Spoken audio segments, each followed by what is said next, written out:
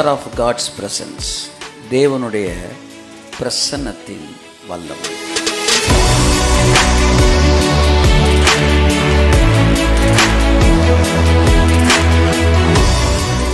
பத்து மணி நேரம் வெளியில் சுற்றுறதும் சரி பத்து நிமிஷம் தேவ பிரசனத்தில் உட்காந்துருக்கிறதும் சரி.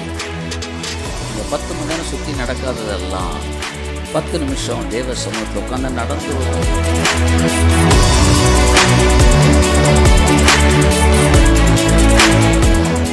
உன்னை உயர்த்தக்கூடிய ஒரு சக்தி வல்லமை இருக்குன்னா அது தேவ பிரசன்னம் மட்டும்தான்.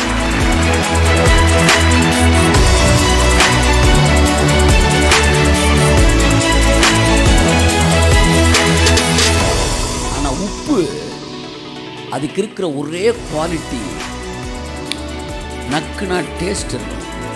சாரம் இருக்கணும். ஜெபிச்சா ஜெபத்துக்கு சாரம் இருக்கணும். துதிச்சா துதிக்கு சாரம் இருக்கணும். செய்தி கொடுத்தா அங்க ஒரு சாரம் நிக்கணும்.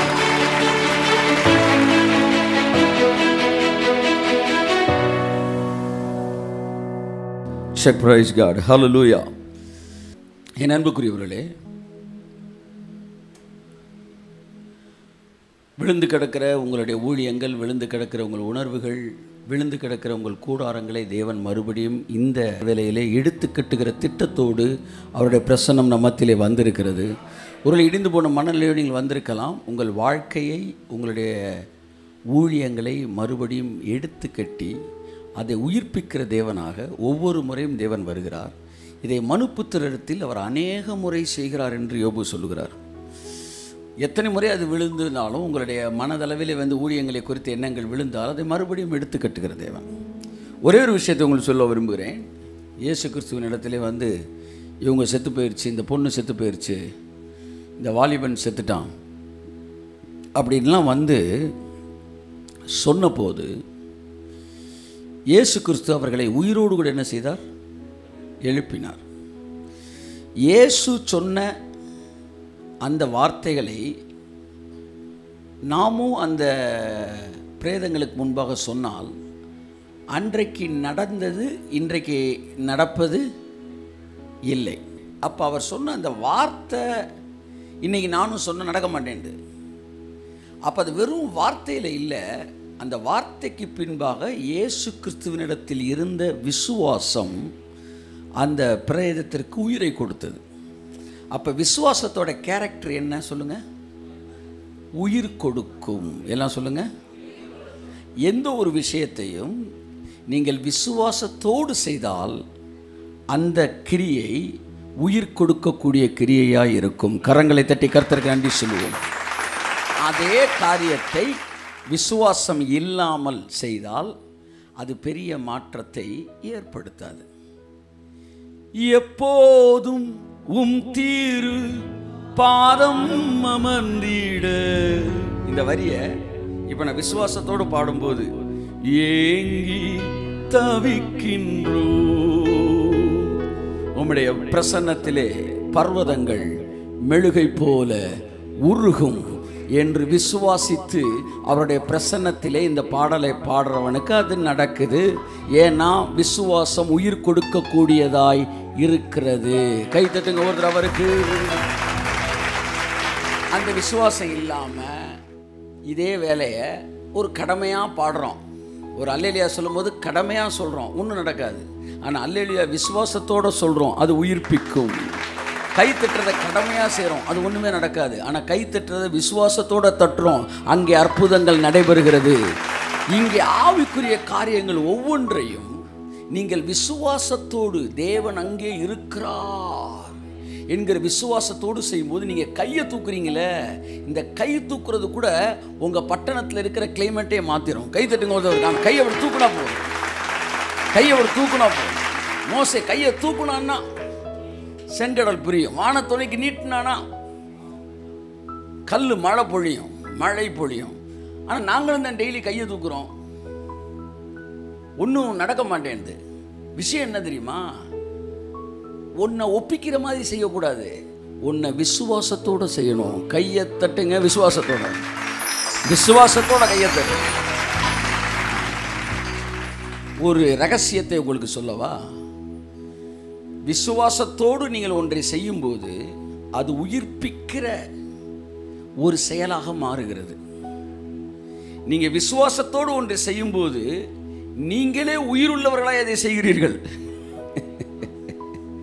அதனால தான் உயிரோடு இருக்கவன் சொல்கிற விசுவாசத்துக்கும் உயிர் இல்லாதவர்கள் சொல்லுகிற விசுவாசத்திற்கும் உயிரில் உயிரோடு கூட இருக்கிறவர்கள் சொல்லுகிற அல்லோலியாவுக்கும் உயிர் இல்லாமல் சொல்கிற அல்லோலியாவுக்கும் வந்து அதுதான் வித்தியாசம். ஏன்னா ஒருத்தன்ட்ட விசுவாசத்தோடு வருது மேட்ரு நீங்கள் ஒன்றுமே செய்ய வேணாங்க. இப்போ உட்காந்துருக்கும் போதே ஒரு விசுவாசத்தோட இன்றைக்கி என் பிரச்சனையெல்லாம் கர்த்தர் தீர்ப்பார்னு உட்காந்துருந்து அற்புதம் நடக்கும்.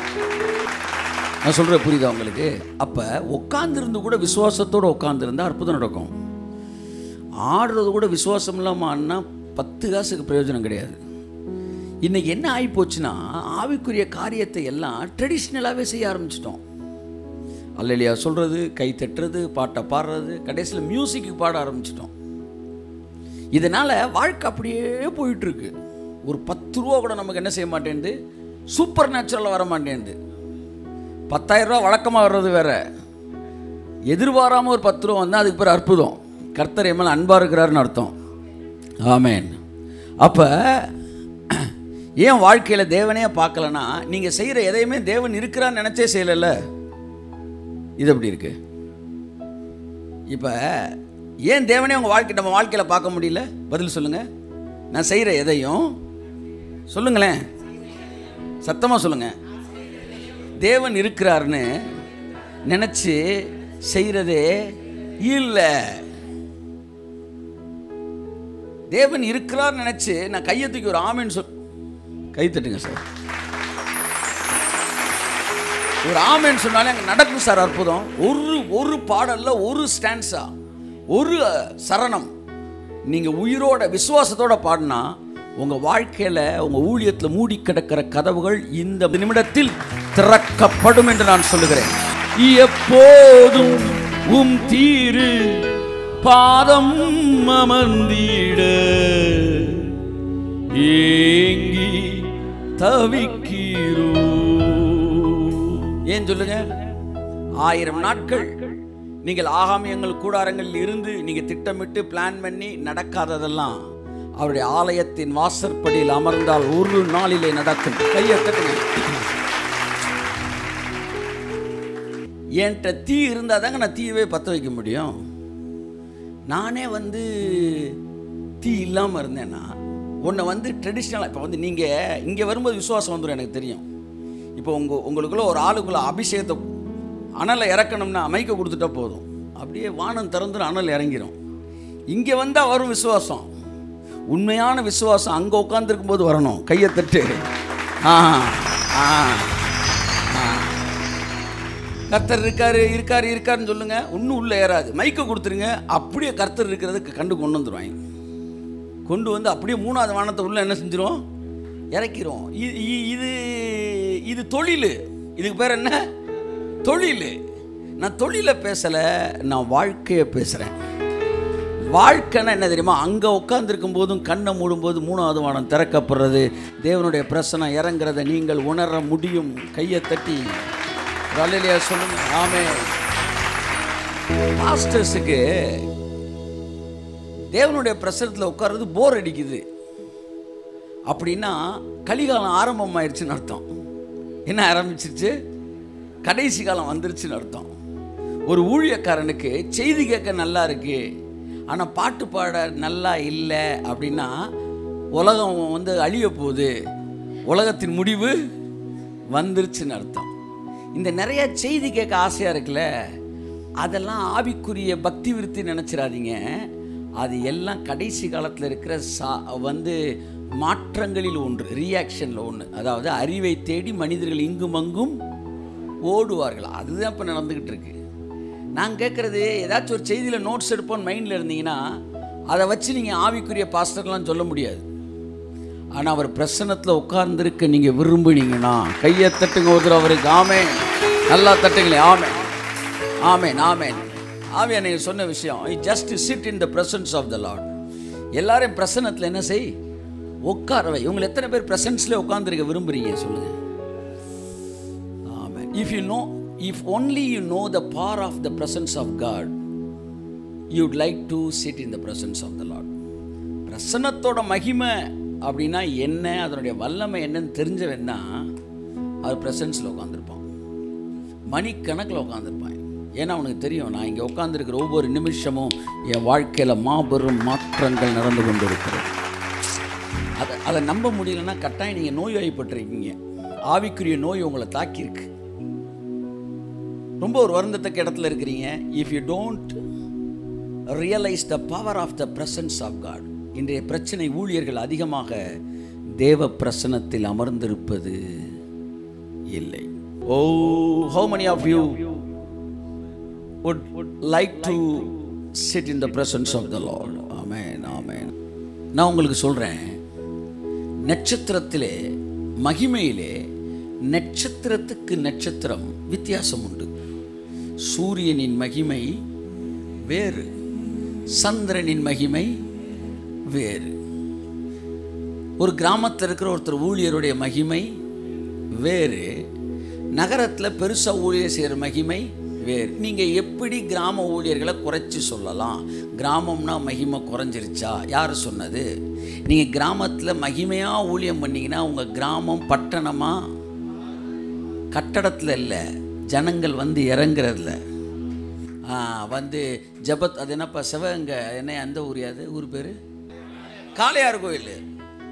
எத்தனை கிராமம் இருக்குது அந்த பேர் உங்களுக்கு வரலையா? தெரிலையா அப்போ ஆ பெர்க்மன்ஸ் இல்லை மகிமை. இல்லைன்னு சொல்லுங்கள் பெர்க்மன்ஸ் இல்லை சொல்லுங்கள் மகிமை. எனக்கு தெரிஞ்ச நாலு பெர்க்மன்ஸ் மதுரையிலே இருக்கிறேன் அந்த பெர்க்மன்ஸ்லாம் இங்கனக்குள்ளே சுற்றிட்டு திரிகிறாங்க பெர்க்மன்ஸ்ன்ற பேர்லாம் இல்லை. மகிமை. பக்கத்தில் தட்டி சொல்லுங்கள் பிரசன்னம். சொல்லுங்கள் மகிமை. பிரசன்னம். இது இருந்தால் உங்கள் கிராமத்து பேரை தமிழ்நாடே பேசும். கையத்தட்டு. நகரத்தில் ஊழியம் பண்ணுறவனை பார்த்து வயிறு எரிய மாட்டேன். சொல்லுங்கள் ஊழியம் பண்ணுறவனை பார்த்து வயிறு எறிய மாட்டேன். அங்கே வரவங்களாம் பார்த்து பணக்காரங்களாம் வராங்க. எங்களுக்கு பாடுபட்டவங்களாம் வராங்கன்னு பொய்ச்சாக்கு ஃப்ராடுத்தனம் பித்தலாட்டம் பண்ண மாட்டேன். எத்தனை வார்த்தையை சேர்க்குறேன் பாருங்கள் ஏன்னா அரணை உடைக்க வேண்டியிருக்கு. இந்த மாதிரி சொல்லி பொய்ச்சாக்கு சொல்லி என்னுடைய கையால் ஆகாத தனத்திற்கு எல்லாம் சொல்லுங்கள் என்னுடைய கையால் ஆகாத தனத்திற்கு சொல்லுங்கள் நீங்கள் வாயை திறக்காத பார்த்தா நிறைய பேர் இதைத்தான் சொல்லிக்கிட்டு இருந்துருக்கீங்கன்னு நினைக்கிறேன். என்னுடைய அப்படி நான் சொல்லலைப்பானா அப்போ தைரியமாக நீங்கள் சொல்லலாம். என் கையால் ஆகாத தனத்துக்கு என் பிரசன்னம் இல்லாமல் வறண்டு போன வாழ்க்கைக்கு இப்படி காரணத்தெல்லாம் சொல்ல மாட்டேன். நான் மாத்திரம் தேவனோடு இணைக்கப்பட்டு அவர் பிரசன்னத்திலே நிரப்பப்பட்டு இருப்பேன் என்றால் வனாந்திரம் வயல்வெளியாய் மாறும். ஆமாம் ஆமென் ஆமென் ஆமென். கிராமமா நகரமா? நீங்கள் எங்கே உட்கார்ந்துருந்தாலும் உதிக்கிற உன் ஒளியினிடத்தில் ராஜாக்கள் ஓடி வருவார் இன்னைக்கு ராஜாக்களை நீங்கள் தேடி தானே போகிறீங்க நீங்கள் ராஜாக்களை தேடி போகக்கூடாது. ராஜாக்கள் ஓடி வருவார்கள். பைபிள் அப்படிதான் சொல்லுது. உதிக்கிற ஒளிக்கு தான் வருவாங்க. ஒளியே இல்லையே இங்கே. ஆமாம் இங்கே களி செஞ்சில் தின்னுக்கிட்டு இருக்கிறோம். அப்போ எந்த காரணமும் சொல்லாதீங்க. நொண்டி குதிரைக்கு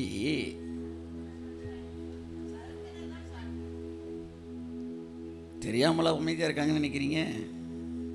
தெரியும் ஆனால் பழமொழியை முடிச்சா அது எங்கேயோ என்னையோ குத்துதே. நொண்டி குதிரைக்கு சரி தெரியாது. சொல்லித்தரேன் நீங்கள் சொல்லுங்கள் சறுக்குன்னு தான் சாக்கு.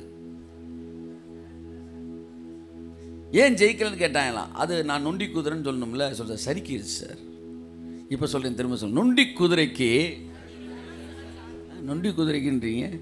நொண்டி குதிரைக்கு சறுக்குன்னு தான் சாக்கு. நான் தேவனுடைய பிரசனத்தில் உட்காரல. கர்த்தருடைய பிரசனத்தில் கனெக்ட் ஆகலை. இதுக்கு நான் சொல்கிற காரணம் அவங்கெல்லாம் சிட்டிக்குள்ளே இருக்காங்க. அவங்க அப்பா ஊழியக்காரு. அது ஏற்கனவே ஒரு கூட்டம் இருந்துச்சு. அங்கே வரவங்க எல்லாம் காரில் வராங்க. ஒன்றும் கிடையாது.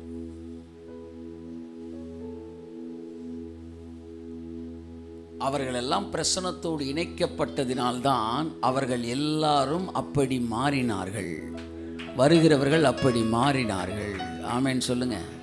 எண்பது வயசுக்கு மேலே இருக்கவங்களுக்கு கூட இன்னைக்கு முடிவெடுத்தா இன்னையிலேருந்து இது ஆக்டிவேட் ஆகும். கை தட்டுங்க ஒரு அவருக்கு அந்த மகிமை இருக்குல்ல அந்த மகிமை ஆளுக்கால் வேறுபடும்.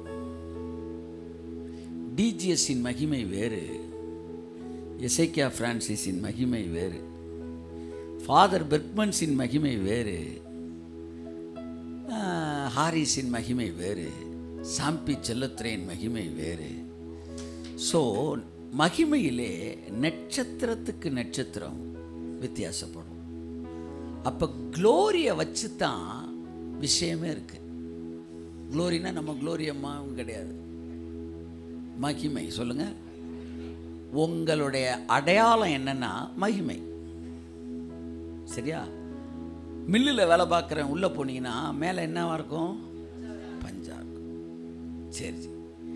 ஒர்க் ஷாப்பில் வேலை பார்க்குறவன் உள்ளே போனால் சட்டையெல்லாம் க்ரீஸாக இருக்கும் ஆயிலாக இருக்கும். சரி.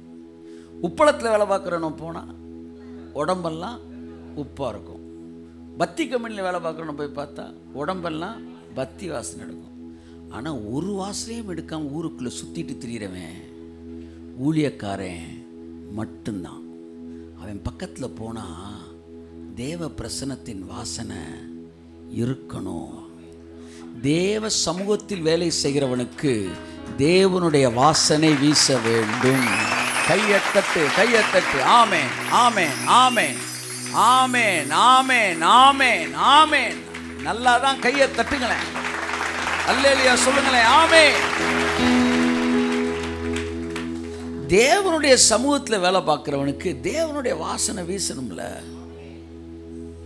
யகோவா ரஃபாவை ஆராதிச்சுக்கிட்டே இருந்தான் அந்த ஏஞ்சல்.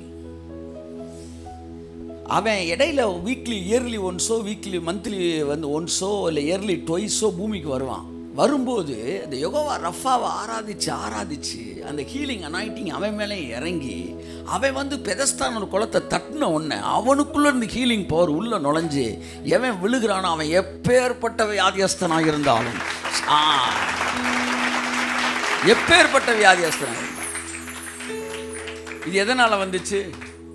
எப்போதும் உம் தீரு பாதம் அமர்ந்திட ஏங்கி தவிக்கிறோ. ஐநூறுரூவா கொடுக்குறவன் எத்தனை பேர்? ஆயிரம் ரூபா கொடுக்குற எத்தனை பேருன்னு மைண்டில் நீ வச்சிருந்தீனா? நீ ஊழியக்காரனே கிடையாது. ஆனால் யாரெல்லாம் பிக் ஷாட்டுன்றவங்கெல்லாம் எனக்கு மறந்து போச்சு. கம்யூனிகேஷன் கூட சரியாக இல்லை. ஆனால் தேவனுடைய பிரசன்னமும் தேவனுடைய வார்த்தையும் தான் எனக்கு ஞாபகமாக இருக்குன்னா அவன் ஊழியத்துக்கு தகுதியானவன். சில ஊர்களை கிராஸ் பண்ணும்போது என் கூட காரில் வரும் இந்த ஊரில் எனக்கு இவங்கெல்லாம் நம்ம மினிஸ்டில் ஃபஸ்ட் சர்க்கிளாக இருந்தவங்க இருக்கிறவங்க இருக்க விரும்புகிறவங்க என்னோட என்னை காண்டாக்ட் பண்ண முடியாமல் இப்போ இருக்கிறவங்க நான் அவங்களுடைய நம்பர்லாம் தொலைச்சிருக்கிறேன். அப்படிப்பட்டவங்களை சில ஊருக்கு போகும்போது சொல்லுவேன். சொல்கிறப்ப அவரா? அவர் உங்களுக்கு தெரியுமா? இப்படிலாம் பேசுவாங்க. இப்போல்லாம் டச்சில் இருக்கீங்களாண்ணா? இல்லை டச்சு ஏன் இப்போ நீங்கள் கம்யூனிகேட் பண்ணுறதே இல்லை? ஏன்னா கூட வந்துக்கிட்டு இருக்கவரே பிக் ஷாட்டாக இருப்பார். அங்கே பேசுகிற ஆள் அதோட பிக் ஷாட்டாக இருப்பார். ஏன் அவங்க நம்பரை கூட என்னை ஞாபகத்தில் வச்சுருக்க முடியலன்னா அந்த நம்பர் என்ன பெரிய ஆளாக்காது. தேவன் தான் என்ன பெரிய ஆளாக்காது. எந்த மனுஷனும் உயர்த்தும் நான் லைஃப்பில் பிஸ்னஸாக நினச்சி லைஃப்பில் பிக்கப் ஆகணும் இதெல்லாம் தனியாக ஃபைலில் போட்டு அப்படி இப்படிலாம் யோசிக்கலை.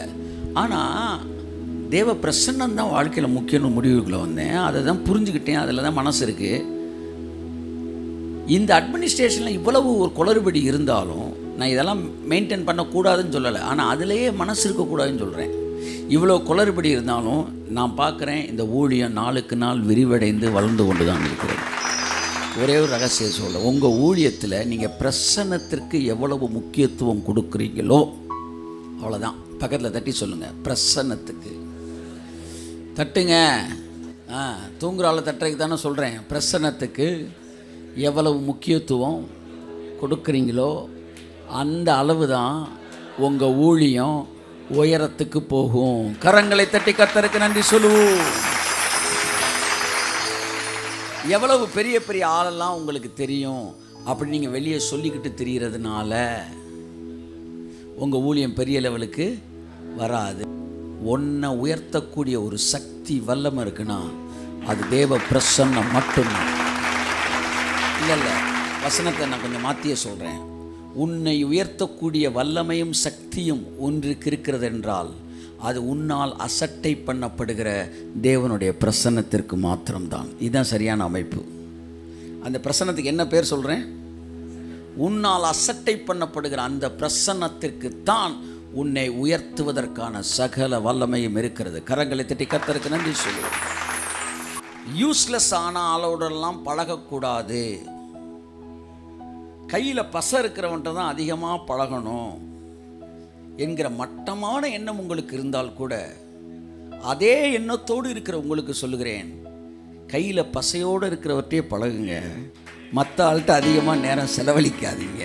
கை தட்டுங்க ஒரு தடவை. உங்கள் பாணியிலே சொல்கிறேன் நீங்கள் அப்படி இருந்தால் கூட பரவாயில்ல. அந்த பாணியிலே நீங்கள் அவர்கிட்ட பழகுங்க. பசையோடு இருக்கிறவற்றை பழகுங்க. இவங்க கூட பேசி பத்து காசு உங்களுக்கு பிரயோஜனம் கிடையாது. மனுஷங்களோட உட்காந்து டீ கடையில் பேசி புத்தக நிலையத்தில் உட்காந்து பேசி பஸ் ஸ்டாப்பில் உட்காந்து பேசி என்னத்தை கண்டிங்க? திரும்ப திரும்ப அதே பழைய பேக்கு அதே பழைய பல்லவன் பல்லவனா பாண்டியனா? பாண்டியன் இப்படியே போயிட்டுருக்கு.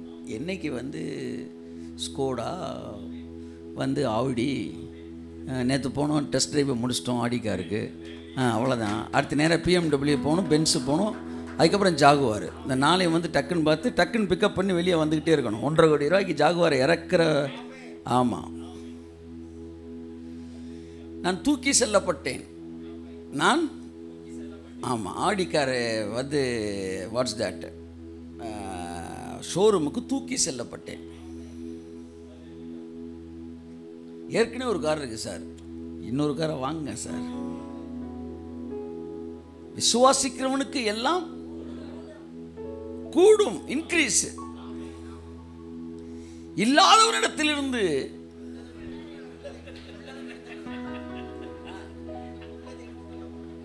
இந்த சாமியை இவ்வளவு நாள் நான் கும்பிட்டுக்கிட்டு இருந்தேன். அந்த சாமியை தான். யாருக்கு தேவை இருக்குன்னு பார்த்து தேவன் கொடுக்கிறவர் இல்லை. அப்படி உங்களுக்கு இன்னைக்கு சாம்பார் சாதம் கொடுத்தா தேவன் உனக்கு கொடுக்காம சோமாலியாவில் இருக்கவனுக்கு தயிர் சாதம் கொடுத்துருப்பாரு. அவனுக்கு தயிர் சாதம் கூட கொடுக்காம உனக்கு இன்றைக்கி பிரியாணி தராருன்னா ஒன்று தெரிஞ்சுக்க தேவன் தேவையின் அடிப்படையில் இயங்குகிறவர் அல்ல தேவன் விசுவாசத்தின் அடிப்படையில் இயங்குகிறவர்.